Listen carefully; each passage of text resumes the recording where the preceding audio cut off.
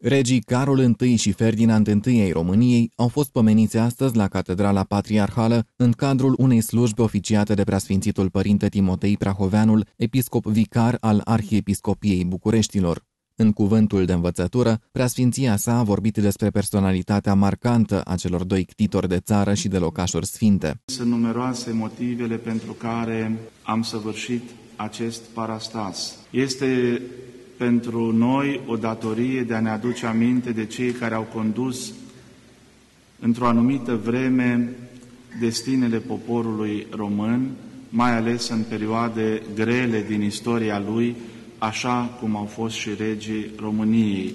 Dincolo de numeroasele proiecte pe care le-a inițiat, de importantele edificii pe care le-a înălțat în București și în alte locuri din țară, Carol I, dar și Ferdinand, au fost iubitori ai bisericii.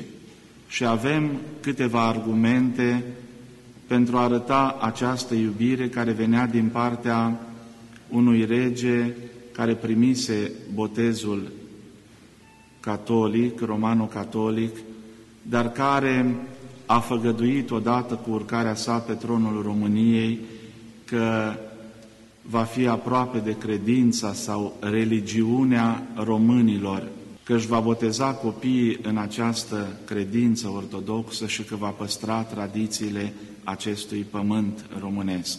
Regele Carol I al României a fost unul dintre primii susținători ai proiectului construirii unei catedrale naționale la București. În anul 1882 a supus uh, forurilor legiuitoare ale țării o lege care dorea înălțarea unei catedrale ortodoxe în București.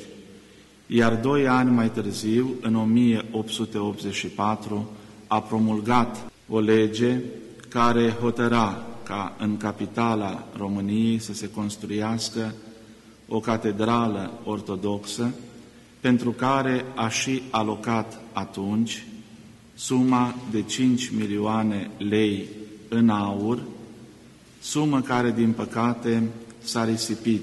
Tot de domnia sa se leagă și obținerea autocefaliei Bisericii Ortodoxe Române. Regele Carol, împreună cu ierarhii Sfântului Sinod al Bisericii Ortodoxe Române, au făcut demersurile necesare către Patriarhia Constantinopolului pentru ca biserica noastră să devină autocefală.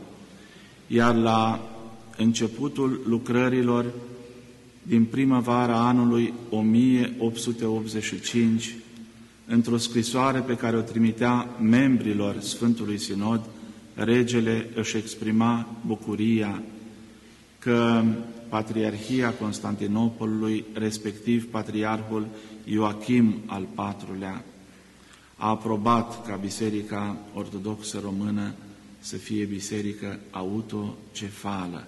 Evenimentul de astăzi de la Catedrala Patriarhală este legat de împlinirea a 150 de ani de la proclamarea lui Carol I ca principe suveran al Principatelor Unite.